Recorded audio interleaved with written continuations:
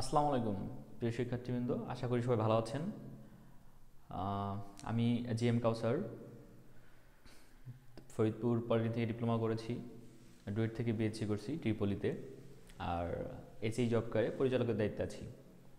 তো আমাদের এই এইচএই জব কেয়ার ইউটিউব চ্যানেলে আপনাদেরকে স্বাগতম। আজকে আমরা পাওয়ার সিস্টেমের একটা টপিক নিয়ে আলোচনা করব, খুবই ইম্পর্ট্যান্ট টপিক প্রায় সময় দেখা যায় এই টপিকটা পরীক্ষাতে আসে। বুয়েট পরীক্ষা নেক বা ঢাকা পলিটেকনিক পরীক্ষা নেক বা রুয়েট নেক বা মিসড নেক, এই টপিকটা দেখা যায় যে প্রায় সময় আসে। সেই টপিকটা হচ্ছে various load on power system তো আজকে আমরা এই টপিকটা নিয়ে একটু আলোচনা করব। তো প্রথমে এখানে আমাদের কিছু সূত্র লাগবে ম্যাথগুলো করার জন্য। অল্প কিছু সূত্র, খুব বেশি না। এই এখানে আটটা সূত্র লেখা আছে। মোটামুটি এই সূত্রগুলো হলে মোটামুটি প্রায় সব অঙ্ক সলভ করা যাবে। আর এখান থেকে আমরা আরও কিছু শিখব। সেটা হচ্ছে আমাদের লোড কার বাঁকানো লোড ডিউরেশন কার বাঁকানো যাই হোক, প্রথমে আমরা হচ্ছে একটু সূত্রগুলো নিয়ে আলোচনা করি প্রথমে। তো লোড ফ্যাক্টর লোড ফ্যাক্টর হচ্ছে গড় লোড বাই সর্বোচ্চ লোড ক্যাপাসিটি ফ্যাক্টর সমান গড় লোড ভাগ স্থাপন ক্ষমতা। ডিমান্ড ফ্যাক্টর সমান সর্বোচ্চ লোড বাই সংযুক্ত লোড ইউটিলাইজেশন ফ্যাক্টর সমান সর্বোচ্চ লোড ভাগ স্থাপন ক্ষমতা। তো এখন এইভাবে সূত্রগুলো পড়লে দেখা যায় যে মনে থাকে অল্প কিছুদিন, এক সাত দিন, এক মাস, দুই মাস, তিন মাস সর্বোচ্চ। এরপরে দেখা যায় সূত্রগুলো হচ্ছে এলোমেলো লেগে যায়। কনফিউশনে পড়ে যাইতে যাইতে হয়। কারণ হচ্ছে এখানেও গড় লোড আছে, এখানেও গড় লোড আছে। আবার এখানে সর্বোচ্চ লোড এখানেও সর্বোচ্চ লোড প্যাচ লাগানোর সম্ভাবনা খুবই বেশি। তো এই জন্য একটু ট্রিকলি যদি সূত্রগুলো মনে রাখা যায়, তাহলে ভোলার সম্ভাবনা খুবই কম। সেগুলো কেমন? যদি আমরা মনে রাখতে পারি ল্যাম ক্যাপ ডিএমসি ইউএমপি যেমন আমি এখানে মনে রাখলাম ল্যাম ল্যাম। এখানে না, এখানে দেখি একটু।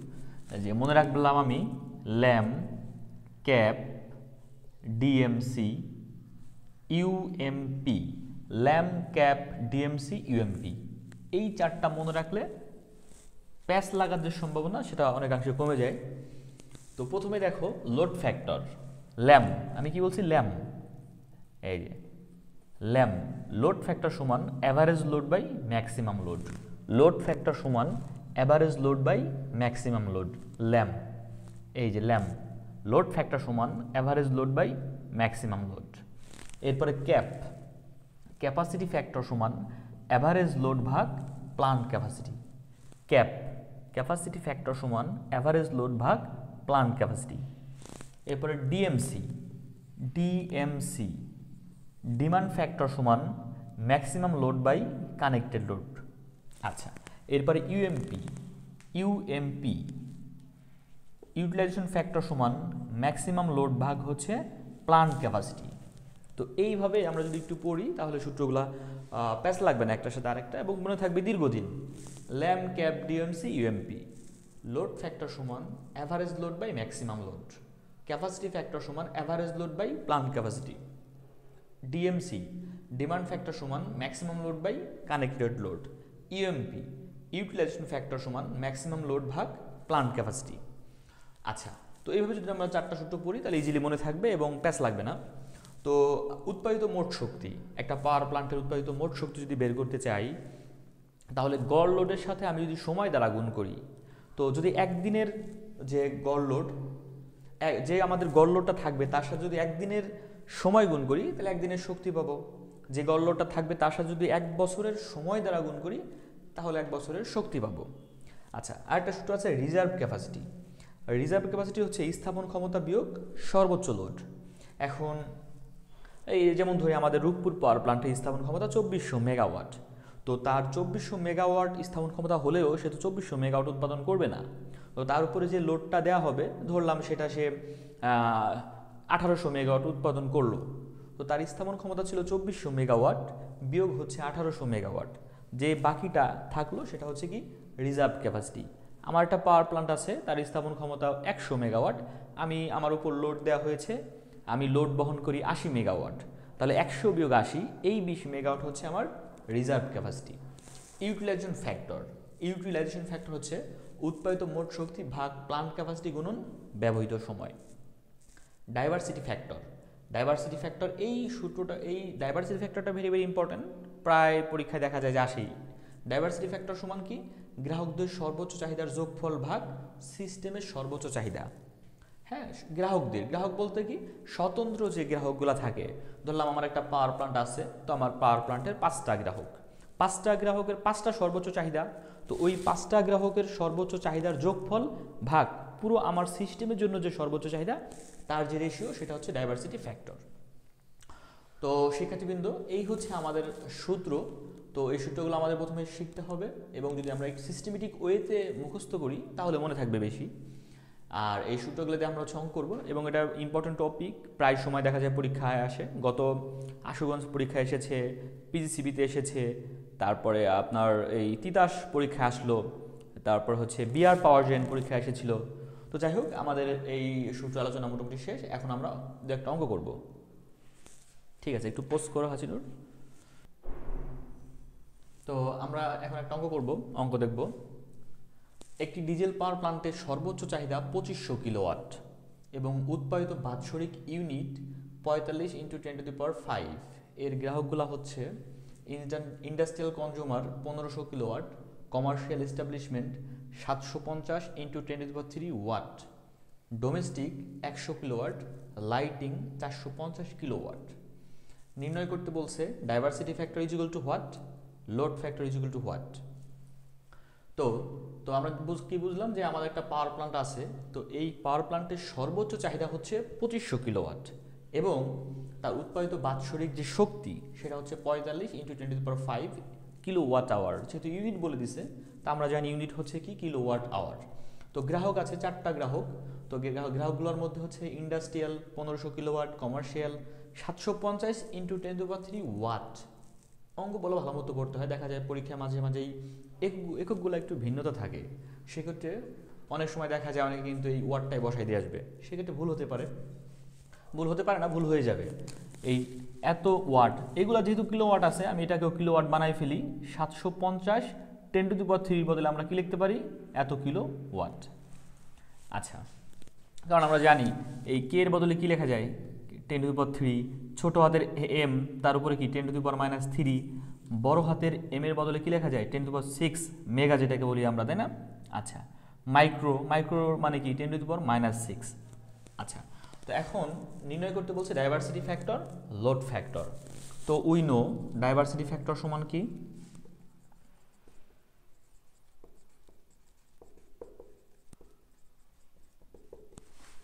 হ্যাঁ ডাইভার্সিটি ফ্যাক্টর সমান সমান জানি, স্বতন্ত্র গ্রাহকদের সর্বোচ্চ চাহিদার যোগফল। সর্বোচ্চ চাহিদার যোগফল। ভাগ হচ্ছে সিস্টেমের সর্বোচ্চ চাহিদা। সিস্টেমের সর্বোচ্চ চাহিদা। আচ্ছা তো এখন স্বতন্ত্র গ্রাহকদের সর্বোচ্চ চাহিদার যোগফল। এখানে স্বতন্ত্র গ্রাহক কোনগুলা? এই একটা এই একটা এই একটা এই একটা। চারটা গ্রাহক। তাহলে এদের চাহিদাগুলো আমি যোগ করে দিই। ওকে, তো চাহিদাগুলো হচ্ছে কত? পনেরোশো কিলোওয়াট। পনেরোশো যোগ সাতশো পঞ্চাশ কিলোওয়াট যোগ একশো কিলোওয়াট যোগ চারশো পঞ্চাশ কিলোওয়াট। ভাগ সিস্টেমের সর্বোচ্চ চাহিদা। সিস্টেমের সর্বোচ্চ ওই যে দেয়া আছে প্লান্টের সর্বোচ্চ চাহিদা পঁচিশশো কিলোওয়াট সমান ওয়ান পয়েন্ট ওয়ান টু এটা আমাদের একটা অ্যান্সার দুই নম্বর বের করতে বলছে লোড ফ্যাক্টর তো লোড ফ্যাক্টর সমান আমরা কি জানি? লোড ফ্যাক্টর বের করতে বলছে দুই নম্বরে। এই যে, আমরা জানি লোড ফ্যাক্টর সমান ল্যাম অর্থাৎ লোড ফ্যাক্টর সমান LAM average by maximum load factor সমান অ্যাভারেজ বাই ম্যাক্সিমাম অর্থাৎ লোড ফ্যাক্টর সমান গড় লোড বাই সর্বোচ্চ লোড এই যে ল্যাম বা অ্যাভারেজ ভাগ সর্বোচ্চ, অর্থাৎ গড় লোড ভাগ সর্বোচ্চ লোড ওকে তো এখানে সর্বোচ্চ লোড কত দেওয়া আছে? সর্বোচ্চ লোডটা আমাদের দেয়া আছে। সর্বোচ্চ লোড দেয়া আছে হচ্ছে, এই তো, পঁচিশশো কিলোওয়াট পঁচিশশো কিলোওয়াট এখন গড় লোডটা এখানে দেয়া নাই। তো গড় লোড দেয়া নাই, কিন্তু আমার এক বছরের শক্তি দেয়া আছে। তো আমরা এক বছর আমরা শিখছিলাম সূত্রের মধ্যে যে উৎপাদিত মোট শক্তি সমান কি গড় লোড গুণ মোট সময়? ওইখান থেকে আমরা বলতে পারি কি যে গড় লোড সমান সমান কি শক্তি ভাগ সময়। অর্থাৎ আমি যদি এক বছরের শক্তিকে এক বছরের সময় দ্বারা ভাগ করি, গড় লোড পাবো। বা একদিনের শক্তিকে একদিনের সময় দ্বারা গুণ করি, গড় লোড পাবো। যেহেতু এখানে এক বছরের শক্তি দেওয়া আছে আমি এক বছরের সময় দ্বারা ভাগ করলে গড় লোড পাবো। এক বছরের শক্তি ভাগ এক বছরের সময়। এক বছরের শক্তি কত? পঁয়তাল্লিশ into ten to the power five five এক বছরের সময়। তাই এক বছরের সময় আমরা খেয়াল করব, এখানে কি আছে? কিলোওয়াট আওয়ার তাহলে সময় যেটা নিব সেটা আওয়ারে নিব। তো এক বছরের সময় কত? তিনশো পঁয়ষট্টি দিন আমি জানি। আর একদিনে কত? চব্বিশ ঘণ্টা। তো এটা ক্যালকুলেশন করে যেটা আসবে, সেটা হচ্ছে আমাদের অ্যান্সার এটা ক্যালকুলেশন করে কত আসে? Zero point two zero five zero point two zero five অর্থাৎ টোয়েন্টি পয়েন্ট ফাইভ পার্সেন্ট এটা আমাদের একটা অ্যান্সার আচ্ছা তো মাঝে মাঝে এমসিকিউ আসে, দেখা যায় যে বিপিএসসি পরীক্ষাতে বা বিআরবির পরীক্ষা এমসিকিউ যখন হয়, দেখা যায় যে অনেক সময় কোশ্চেন আসে যে, নিচের কোন ফ্যাক্টরটি একের থেকে বড়? এই যে একের থেকে বড় ডাইভার্সিটি ফ্যাক্টর অন্যান্য সকল ফ্যাক্টর দেখা যাবে একের থেকে ছোট হবে, আর এই ডাইভার্সিটি ফ্যাক্টরটা হচ্ছে একের থেকে বড়। তো যাই হোক, আমরা দেখলাম ডাইভার্সিটি ফ্যাক্টর বের করতে বলছিল লোড ফ্যাক্টর বের করতে বলছিল। আমরা জানি ডাইভার্সিটি ফ্যাক্টর সমান স্বতন্ত্র গ্রাহকদের সর্বোচ্চ চাহিদার যোগফল ভাগ সিস্টেমের সর্বোচ্চ চাহিদা। তো গ্রাহকগুলোর চাহিদা যোগ করে দিয়েছি সিস্টেমের সর্বোচ্চ চাহিদা নিচে বসাই দিয়েছি আমি এটা কি পাইছি? ডাইভার্সিটি ফ্যাক্টর লোড ফ্যাক্টর সমান জানি ল্যাম লোড ফ্যাক্টর সমান ল্যাম অ্যাভারেজ বাই ম্যাক্সিমাম অর্থাৎ গড় লোড বাই সর্বোচ্চ লোড গড় লোডটা দেওয়া ছিল না, সেটা কোত্থেকে পেয়েছি? এক বছরের সময় দেওয়া আছে, এক বছরের সময় এক বছরের শক্তি দেওয়া আছে, এক বছরের শক্তিকে এক বছরের সময় দ্বারা ভাগ করছি, গড় লোড পাইছি সর্বোচ্চ লোডটা দেওয়া ছিল, তো যেটা পেলাম পয়েন্ট টু জিরো ফাইভ অর্থাৎ টোয়েন্টি পয়েন্ট ফাইভ পার্সেন্ট ঠিক আছে। আরেকটা কথা, এই অঙ্কটা কিন্তু এসেছিল এই আশুগঞ্জে PSL Ashuganj power Ashuganj power station company limited. এটা এসেছিল দুই হাজার হ্যাঁ দু হাজার বাইশ সালে যে পরীক্ষাটা হয়েছিল আশুগঞ্জে, সেখানে এসেছিল সাব অ্যাসিস্ট্যান্ট ইঞ্জিনিয়ার পোস্টে। পরীক্ষা নিয়েছিল বুয়েট। ঠিক আছে, আমরা তাহলে নেক্সট অঙ্কের দিকে যাই তো আমাদের একটা আজকে এখন একটা অঙ্ক করব আমরা। সেটা হচ্ছে একটি পাওয়ার প্লান্টের সর্বোচ্চ চাহিদা পনেরো হাজার কিলোওয়াট বাৎসরিক load factor fifty percent plant capacity forty percent reserve capacity বের করুন। অর্থাৎ আমার একটা পাওয়ার প্লান্টের সর্বোচ্চ চাহিদা দেওয়া আছে, বাৎসরিক যে লোড ফ্যাক্টর সেটা দেওয়া আছে ক্যাপাসিটি ফ্যাক্টর দেওয়া আছে, এখান থেকে রিজার্ভ ক্যাপাসিটি বের করতে বলছে। তো আমি জানি রিজার্ভ ক্যাপাসিটি সমান কি? রিজার্ভ ক্যাপাসিটি সমান হচ্ছে স্থাপন ক্ষমতা বিয়োগ সর্বোচ্চ চাহিদা বা সর্বোচ্চ লোড তাহলে এখান থেকে আমাকে স্থাপন ক্ষমতা বের করতে হবে। তো স্থাপন ক্ষমতা বের করার জন্য এখানে লোড ফ্যাক্টর দেওয়া আছে। তো লোড ফ্যাক্টর সমান আমরা কি জানি? অ্যাভারেজ বাই ম্যাক্সিমাম ল্যাম তাই না? লোড ফ্যাক্টর সমান অ্যাভারেজ বাই ম্যাক্সিমাম গড় লোড বাই সর্বোচ্চ লোড ক্যাপাসিটি ফ্যাক্টর দেওয়া আছে cap average load by plant capacity গড় লোড বাই স্থাপন ক্ষমতা। তাহলে যেহেতু স্থাপন ক্ষমতাটা আমার দরকার, তাহলে আমি ক্যাপাসিটি ফ্যাক্টর নিয়ে কাজ করব। We know capacity factor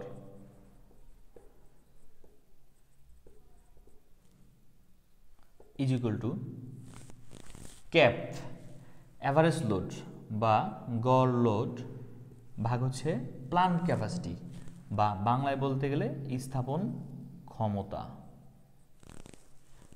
বা ক্যাপাসিটি ফ্যাক্টর দেওয়া ছিল। কত দেওয়া আছে?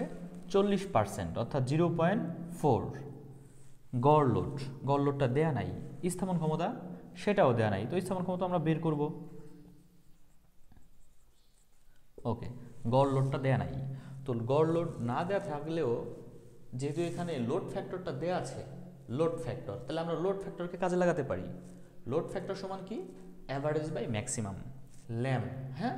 লোড ফ্যাক্টর সমান অ্যাভারেজ বাই ম্যাক্সিমাম ল্যাম লোড ফ্যাক্টর সমান অ্যাভারেজ বাই ম্যাক্সিমাম অর্থাৎ লোড ফ্যাক্টর সমান গড় লোড বাই সর্বোচ্চ লোড আমার গড় লোডটা দরকার।